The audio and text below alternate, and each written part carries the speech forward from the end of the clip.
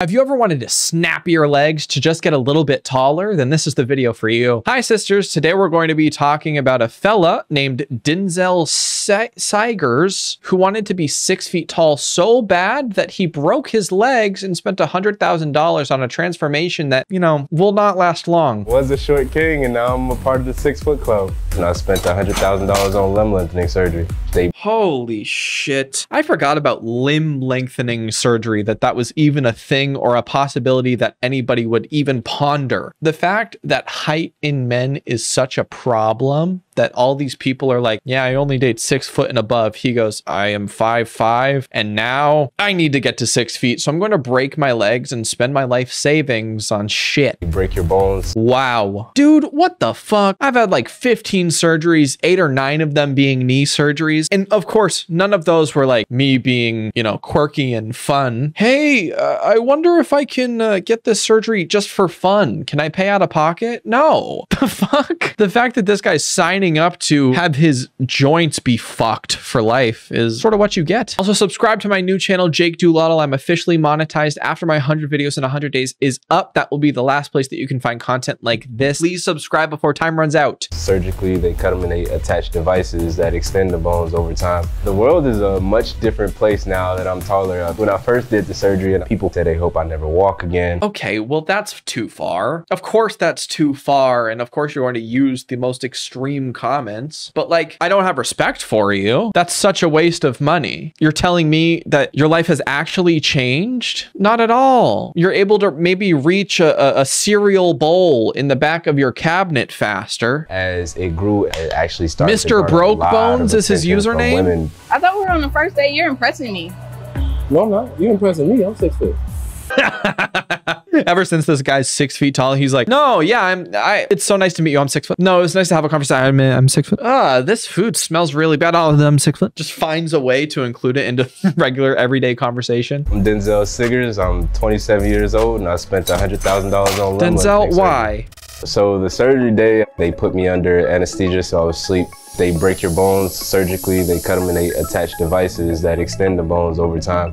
When I first woke up, I just asked myself a million and one questions. I was like, why did I do this? That's a great question. Um, I'm curious to know how long the recovery period was. I know that for my surgeries, it was like three months per. I was in a wheelchair. It was pretty awesome. Imagine this. If this guy got like a handicap placard or went to handicap seating at a concert, you are a fucking asshole. Are you kidding? He absolutely has a handicap placard. How many people do you think were actually handicapped and didn't do this to themselves? and couldn't park in a handicap parking spot because of this fella? Surgery. I regretted it. I shouldn't have done it. I'm in so much pain. I've oh my God. kind of pain before. And is it really worth it? No. And I thought something was wrong because I didn't think it was normal to feel this amount of pain. Day one. There's a metal rod in my leg, and then there was an external fixator that attaches to the metal rod. Where do you have to go to get this goddamn surgery done? It doesn't say it in the description, but like, can we never ever do this? Can this be outlawed, please? God damn, this is like a McKamey Manor type thing where it's like, we're going to, uh, you know, break your legs and then see how long it takes for them to grow and reconnect. going through your leg. So you have both an internal device and an external device. Solid. It was very shocking. It felt unreal to see it attach myself because I had never seen anything like this before. I was actually in a relationship prior to the surgery. Once I told her I wanted to go get surgery to get taller to boost my confidence, she was completely against it. Yeah, I think any normal person would. It also makes me really sad that that's the only way that you feel that you can boost your confidence. I don't know. Get some lifts in your shoes or uh, fucking put on three pairs of socks. There's other ways to gain a few inches. And inevitably, we end up ending a relationship, even though she was someone that made a lot of jokes about my height herself. So she hasn't seen me, but she's just seen like my social media and she's been trying to call. She's been trying to make her. Yeah, she's probably checking in on you like, what the fuck? Are you okay, dude? This is a fucking insane thing to do, especially like at such a young age. This guy's 27 having a midlife crisis. Back, but that's somewhere I don't want to go back to. Ooh. Today I'm actually going on a date for the first time since I've had my surgery. Man, what? Dude, you're giving yourself like a lifelong limp to be six feet? Like, I'm sorry. I get that the height jokes are probably really painful, but you know what's more painful? Oh, I don't know. Broken fucking tibia. First date at six foot. I'm very excited. This is an opportunity to get out there and really Jesus. fill out this new version of me, like see how he interacts with the world, see how he interacts on a date. Is in this the world we live in, out? we say don't Sitting judge a a book swing? by its cover, but obviously people are judged off their appearance first. But I do feel like once I get back into dating, my personality will be what carries me in a relationship. Okay. Okay, I know that this sounds really mean, but he did sign up for this. Imagine if he stood up and his legs just fucking crumbled. His devices go out of whack. He starts like walking and like rolling and doing the worm. Hello, how you doing? How you doing? Yeah. Better hug me too, man.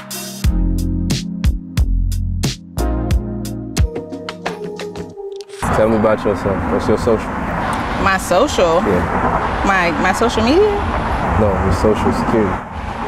My social security. What? you a scammer? I didn't say that. Are you just I was just trying to get to know you. Oh. So No, he's really good with the ladies. I'll tell you that right now. As a pickup line, hey, what's your social? Oh, my social media? No, your social security. What you trying to do with my social? Oh, you trying to put a ring on it that fast? What? I didn't know you was that type of guy. Okay, I don't think that anybody at this table understands what's going on. Like, what? None of this makes any sense. And then he sips his drink. I, I like that. I How much said money my does last this guy have? relationship was two years ago. I got high standards and a lot of requirements. I think you found it. Really? Okay, why haven't I been on a dating scene? Been very busy. but most recently, in the last six months, as you know, I went underwent limb lengthening surgery. hmm So What was that experience like? probably one of the hardest things I've ever done. that you didn't have to do. Like, think about the people who, I don't know, have a limb amputated or multiple limbs amputated. Uh, they look at this guy and probably scoff in his face because one, he's taking their parking spots, and two, you signed up for this, man. I- it's sad. It's like when people get plastic surgery to feel more confident, and then six months later, they don't feel more confident. Conversation was very good. I could see like us going on a few more dates, getting to know each other a lot more. He's gonna call me for sure. It's actually a very fun first date. I didn't expect to have as much fun as I did. I thought it would be a little bit more nerves or something, but Two straws. everything went great. It was very fun time, very beautiful. that a girl. Tostitos? Nice to step out in the world with a lot more confidence than before, to be a lot more sure of yourself and not wonder what Man, I mean, wouldn't it be nice to be able to step into a hug and not feel pain? There's so many like little things that I feel he didn't think about. The doctor who was doing this, whatever fucking quack doctor did this, was like, all right, I'll take a $100,000 cash right now and uh, do not think about any of the repercussions. Just go for it. when I had my knee surgeries, one of my million knee surgeries, I remember before every surgery, every night before surgery, Hannah and I would do everything that I couldn't do those next three months after surgery. So, like, we would slow dance in the living room, or we would go on a walk, or even just like stand up and hug. Those small things are so fucking important. And this guy shut down a lot of them. And also, limb lengthening surgery will absolutely have complication. And so, he's giving himself a lifelong, irreversible disability. That's fucking crazy. she's thinking, but really just be who you are. Be who you are. It is much easier to reach things that I, I struggle with. I made a joke about that at the beginning of the fucking video, and I didn't think that he would actually say that. It's much easier to reach things in my kitchen. Ever heard of a goddamn step stool? with before. The world is a much different place now that I'm taller. Uh, shorter People smile at me everywhere I go. I've never had this kind of like reaction from people before, and I really enjoy it. What? I've always been very unhappy with my height pretty much my entire life. I realized I was short around 15 years old, and ever since then, it's kind of weighed on me. I tried uh, like a lot of different things to make at me that height. taller or at least appear taller, such as spinal decompression, put insoles in my shoes, inversion tables, and they would only give me about an inch more. so uh, that wasn't good enough for me. So I, you know, uh, broke my fucking legs so I could gain a, a good seven inches. As far as my recovery process, I work out every day. I'm just restricted in some of my abilities like squatting. Recovery takes about six months to a year. I'm much further ahead at my current stage than most people would be. man. It's only been about two and a half months since I completed surgery. I can pretty much do everything that I need to do for the most part on a normal day-to-day basis. So I'm very pleased with where I'm at. The surgery has significantly boosted my self-esteem, mainly because everything I had to go through to get the height, so I appreciate it more. But just being home and seeing how the world reacts to me at six foot rather than five five. I am curious to know what place he went to. Live life long, tall. What do you think that last thing is? Live life. Oh, there was a t-shirt. Live life taller. Okay. Live life taller. Whoa. What the fuck? Oh my god. It is a Turkish. Ew. You are all so fucking stupid. No shot. Oh my god, they have a huge building. Oh, come on now. Measure my height. Let's see what I can be before and after. Okay, so I am 182. Oop, okay, so I am six foot zero. All right. And uh, let's see. So that's my before. And then my after is still six foot zero. Oh, so I just have to guess. Six foot six. Female. Live life taller. That's a good fucking website. We'll keep watching. has been like a very amazing experience for me. I've always been like an outgoing person, but now I can just be myself. He seems like a cool guy, but this is so people have to say. dangerous. I'm me all the time now, rather than hiding behind like insecurities. My boy, Hey, what's up, man? Get good to see. you. What? Oh, it's good to see you, man. How did you meet Brian? We was getting the same surgery in Turkey together. We met in the physiotherapy. Brian, how tall were you before the surgery? Uh, I was 183, so just basically uh, six foot. And how tall are you now? It's gonna be over six six six right now. Jesus Christ. Do you think that if you zoom out, these guys' legs are like half their fucking body length? They just have the shortest torsos. Also, I do love when uh, YouTube chapters are spelled incorrectly. It's just a fun little thing I like. Meet Brain, a fellow limb lengthener. Brain? Nice. One thing that's kind of hard for me is I'm just barely now getting into the phase where I'm in a walker. You're already at the walking unassisted phase. For me, I would honestly have to tell you that it's really just being patient, but at the same time trusting yourself because since you haven't walked in so long, eh, it gets you're nervous to walk. When I know, but buddy, you guys did this to yourself. And so it's actually super telling because one guy had a super successful surgery. You know, let's check in when he's older and see how that goes. But now we have this guy who is just barely moving in a walker because of complications, and they did the surgery at the same time. So I think that's proof that this shit is fucked. whenever I'm scared, I just tell myself, just trust myself. Everything is gonna be okay.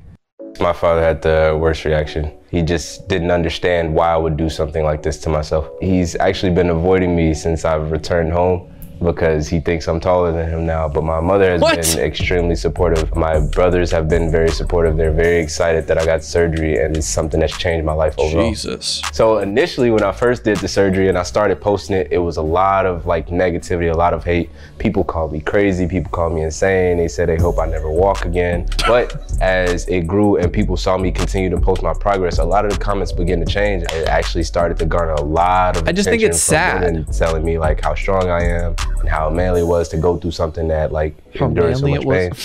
I want people to take away from this is not even just height, but I say do the things that make you happy. Don't care what other people think because people will judge you no matter what you do. And that's true. But I have a problem with this. There are a bunch of logistical problems and the funding. There is just no way that this is good for you in the long run. I got diagnosed with arthritis throughout my body at 12 or 13 years old. They were telling me that my bones are going to deteriorate earlier than others and my body's going to hurt more and more as I get older. Any small thing can happen to these guys and they will no longer walk again. And I don't know if that has uh, crossed their minds uh, for the six months or a year of healthy walking that you get with these fucking Frankenstein legs. God damn, dude. And maybe it's just because I've had my experiences, but I don't think that there's going to be anybody in my comment section who is disabled or on crutches or cannot walk who looks at this guy and is like, I get it. That makes sense. Do your thing. Sorry. Anyways, I hope you all enjoyed this video. If you did, then please leave a like and subscribe. Thank you to all my members for supporting me. If you want to become a member, then click the link in the description below. Also, check out my clothing brand and separately my nonprofit for people with chronic illness, Never Stop. 10% of all the profits from Never Stop Clothing go into the fund. I donate monthly. You can donate directly into the fund. Please check it out. It's all tax deductible. Thank you so much for your support. I will talk to you later. Bye.